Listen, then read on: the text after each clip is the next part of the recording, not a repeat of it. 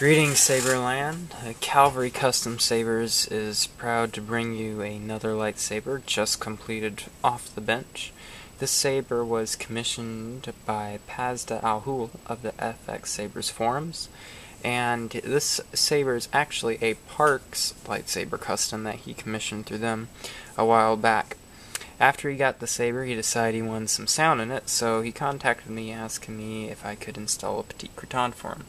I told him that um, I was pretty sure I could, as there was um, a wider section right here I could tell from the pictures. And so he sent it my way, and sure enough, I was able to squeeze a Petit Crouton version 1.5 inside the hilt. Some other things of note on this hilt is, of course, the custom LED optics module.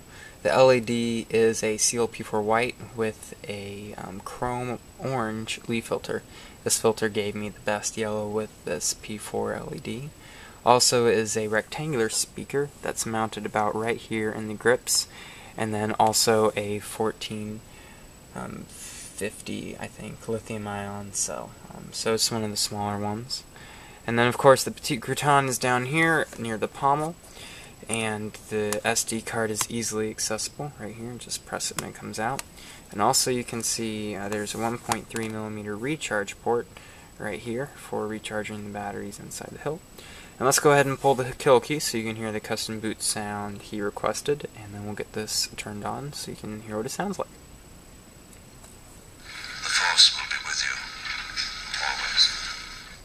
So that is the custom boot sound, and this saber is sporting the Light Meat sound font made especially for the Petit Crouton.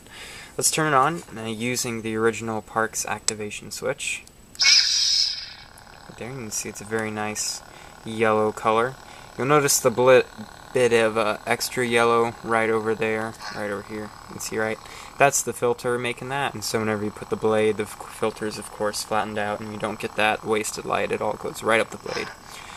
Also right here we have the custom auxiliary switch. I purchased this switch from TCSS and it's the new ones and let me just say they are some of the best auxiliary switches I've ever used. So if you're looking for a sharp looking switch go to TCSS and get some because they are excellent quality and they look great on any hilt.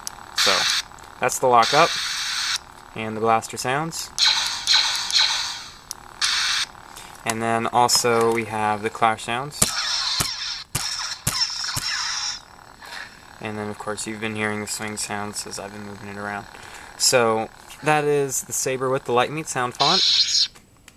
And uh, it is very, very fun build to do, and I hope that you enjoy it. And thank you for very much for watching, guys. See you next time.